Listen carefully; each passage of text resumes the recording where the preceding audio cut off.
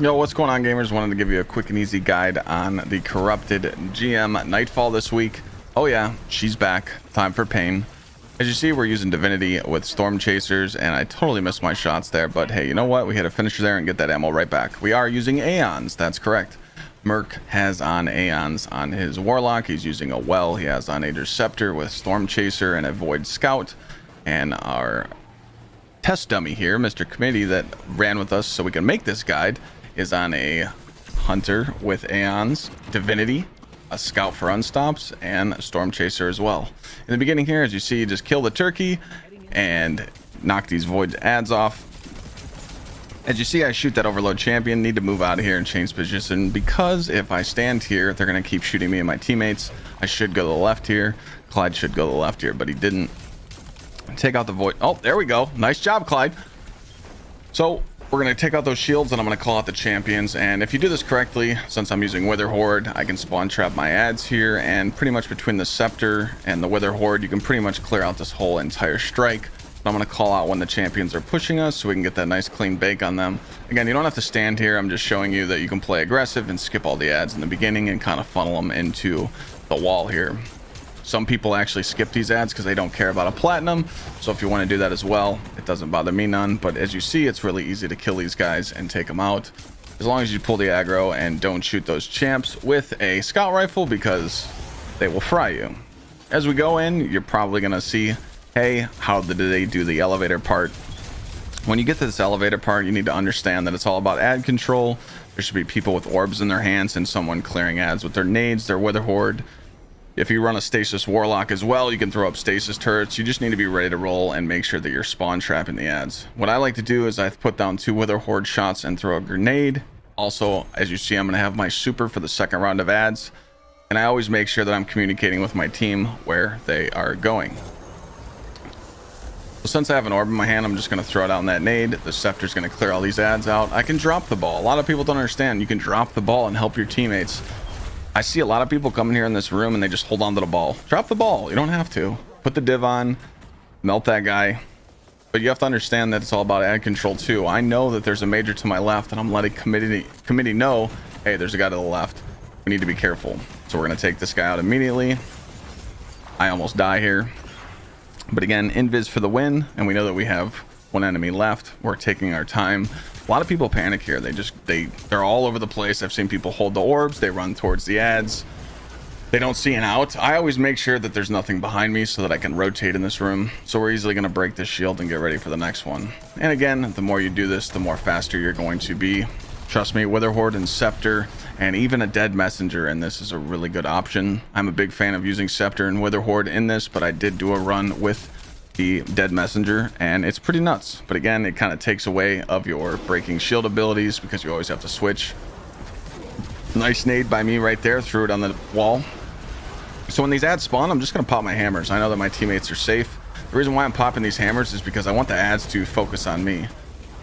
As you see committee got a little too close there and threw the orb but it's okay. I'm standing here. I want the knight to follow me. I know that the knight's the only one left in the room, so he's going to push me, and I'm be like, hey, you know what? I'm just going to pick up a ball, make sure that behind me is clear, rotate to my teammates, and take care of it. If you do not rotate like that, you will wipe. I'm just letting you know. Like, I've wiped here plenty of times teaching people this room. People stand still and they don't rotate. You have to understand that there's nothing behind you. Even one thrall could multiply and just roast you, and, you know, it happens. But, again, it's in the beginning of the strike. I'm skipping to certain parts of this strike to kind of help you through a faster strat and also kind of help you on the pinpoints of the room. When I get into this ogre room, we want to kill this unstopped right away. The reason why is when we're going to get teleported into the dark room, when we come back into the light room, we want to kill the ogre right away. That way, when you get cast away into this room, you easily can take care of the two champs and move on. A lot of people will die right here. It's okay. Sometimes you got to play aggressive. Sometimes we run out of ammo. Sometimes he doesn't die. Sometimes your teammates could die. Like, we're, we're right here. Merc died on accident. It wasn't his fault. It's just we weren't paying attention to what was in the room, what was shooting us. The ogre kind of staggered us. It was annoying. Anyways, once you kill that ogre, you're going to come into this room and have two unstops and the ogre here. What I like to do is either channel up on these stairs to the right and bring all the ads to you. you're pretty much just you're channeling the ads to your right here or they can drop down right here behind us uh, as you see it's only two of us in this room so we kind of had to take our time here because we still wanted to go get the res. But again with communicating and understanding how an unstopped champion works you can simply just jump over these guys. If you jump in the air like that they will not take it they will not hit you and kill you but you strictly have to jump straight over them. If you don't they will hit you dead on and kill you but if they're getting ready to do that shield bash you can jump straight over them some people don't like sitting up here i sometimes sit in the middle row. The reason why is because how i got laned by those ads right there all the ads channel to you. And if you stand in the middle in the back of the room where we just were you only have to kill the ogre and then all these ads will despawn. So pretty much whatever you want to do with your teammates and kind of understand what's going to work for you as well. Either way works it's just you want to take out the two champs and then move on to that ogre. Again reason why i'm using all my ammo here is because i know in the next room we're going to be able to hit finishers there's literally five what one two four champions in the next room sorry six champions four unstops and two overloads so there's really no point for me to not have to worry about ammo. I shouldn't be saving it. I should be using it and keeping my teammates alive or making sure I don't die. Again, mistakes happens. You guys have to understand that this, this Nightfall takes time. But once you learn it, you can technically farm this Nightfall. It's not that bad. When you run when you run with three people that know how to farm it, if you want to farm the weapon this week, go for it. If you want to farm exotics, you can do it baking the boss in the end is definitely uh, difficult.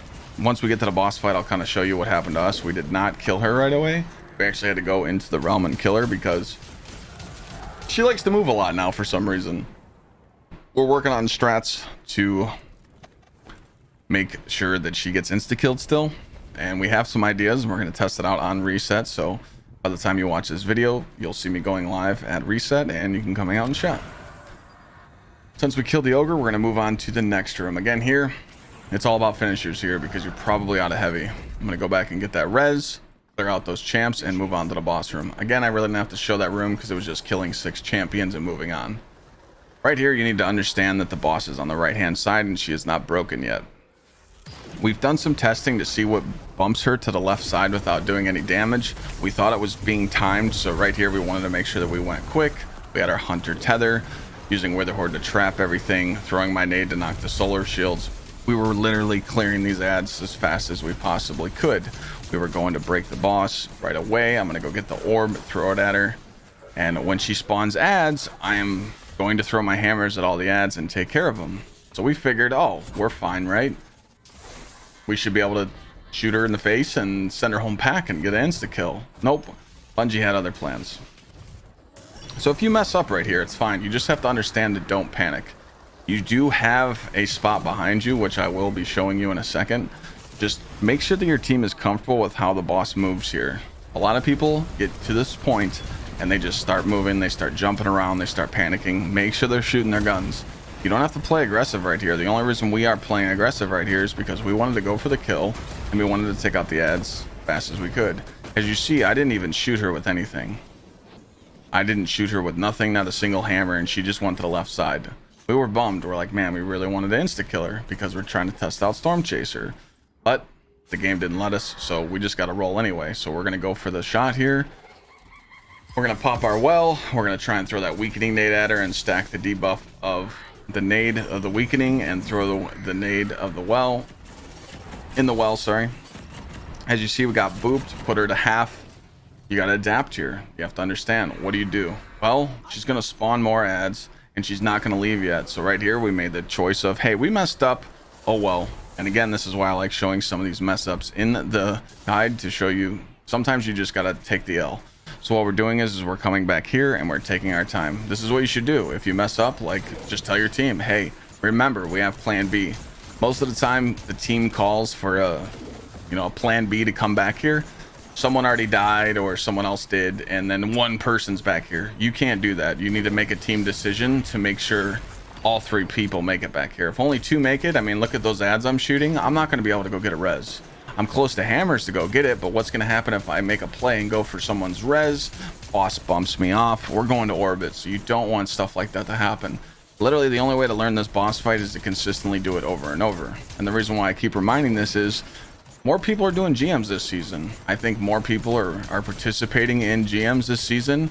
I recommend using solar with, with classy restoration. At the end of the video, I'm going to go through my build and kind of show you what I was using, but it's pretty my basic Titan Bonk build with all the mods still. A lot of healing. I actually put on, uh, I actually think I put on Well of Life on my boots because we weren't using high energy fire anymore. Because high energy fire doesn't stack with radiant, so I did put Well of Life on my boots to get a healing in more, but classy restoration, um, revitalizing blast for stunning champs. It's pretty much the basic resist mod Titan build, but again, I go over it quickly in the end. I think Stasis Warlock works really well too, but you have to understand that Warlock needs to know how to play GMs because they don't have classy restoration. Make sure you're running a 10 resilience on all characters and, you know, take your time. Again, here, we are penalized here for not having solar on, so I have to break the solar shields with my hammer or my nades. You could have someone switch off a Void Scout and run something solar if you really want to, but up until this point, we really didn't need it, but we also didn't expect for this to happen. I think Bungie stealth nerfed this boss. I think they made a change to where she does teleport out of nowhere now because some runs she didn't teleport and we almost one-shot her and some runs she just teleports to the left side with no issue. So as soon as you clear the ads and you're going to throw the ball at her again, you are going to break the shield. She's going to take some damage and you will jump through the realm. I know some other people probably give you a strat of getting the ball, going invis, and taking the ball through the portal and breaking her and killing her. I feel like that is definitely a strat used for a veteran team. The reason why is, let's just say I'm leading the team and I go invis to go get the ball and something happens. I'm saying the littlest thing happens. I jump on a pebble and it kills me. My team just lost me until the boss. I don't want to risk that. I would rather just stay with my team and fight out. And that's why I wanted to show you in this run on how we can take her and go toe to toe with her till the end. You don't have to sit here and fight these ads. Just stand here and jump through. Once you make your way up the hill, make sure you kill the knights first because anytime you kill the knight, it pushes the boss up. Right here, good old RNG. Clyde was nowhere near the boss. Gets bumped off. I even baited the slide for her to push me off and ran past it, but I did get bumped. I feel like the game was a little unfair there, but hey, it happens. Clearing the ads here, obviously you just have someone go get the ball and you're going to use your Witherhoard and ad clear here. I always recommend all three players push up here. That way the boss has multiple targets to look at. I like to come over here to the right and have these pillars that I can use just like that to bait the boss. As you see, I did it correctly there. I stand behind the pillar, bait the boss's attack, so she bumps me and not my teammates. Simply here, we're going to chuck the ball and go for the kill like you always should. I did want to put this in the video just to show you how much health she had left. She half health here and we went for it anyway.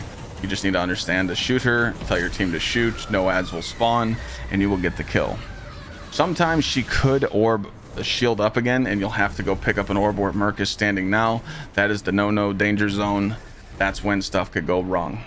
Again, I'm going to show you my build here, what I was using real quick, and I hope this guide helped you. And obviously, we're going to come up with more bake strats to help you guys out throughout the weekend farming. And don't forget the sub! Thanks for watching. See you guys next time.